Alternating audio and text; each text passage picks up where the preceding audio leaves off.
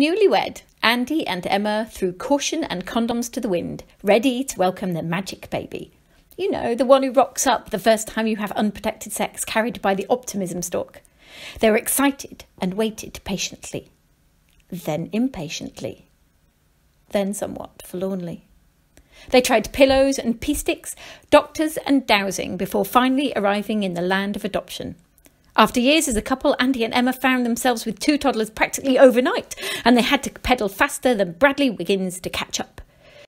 And Then There Were Four is a true story of infertility, adoption, and parenting.